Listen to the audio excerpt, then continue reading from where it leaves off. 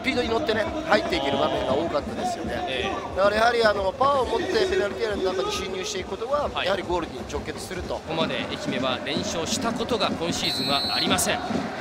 最初の45分が始まりました。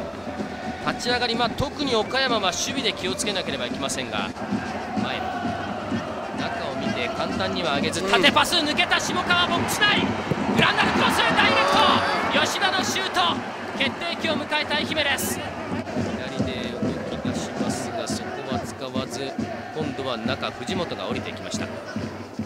代わりに近藤が空きます、うん、ナイスコントロールミドルシュート!クロスバー!決定機です!いや近藤の素晴らしいプレーが見れました。ここです。ここから前のの速いボールですよね。完璧なコントロール。いやあ触ったんだいいキックを持っている前の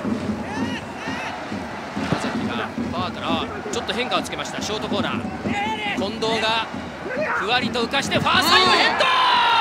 先制した山崎です。山崎がやりました！特別なユニフォームで決めた美しい先制点。下げましたね。ここですよね。柔らかいクロスはい。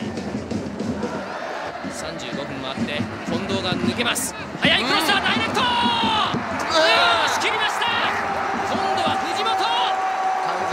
ました、ね、追加点です愛媛。近藤の走りですよね、はい、この近藤を捕まえきれてないんですよね。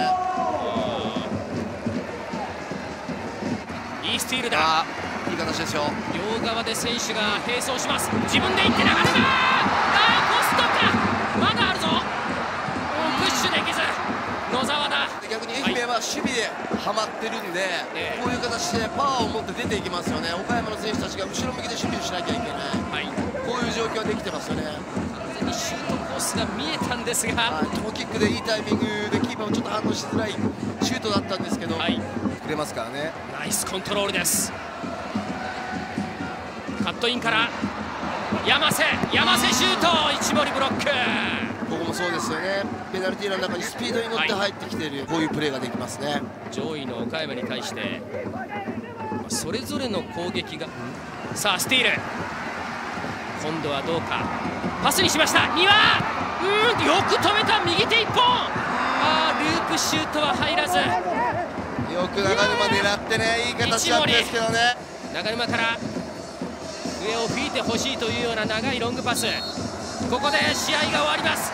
愛媛ようやくようやく初の連勝達成です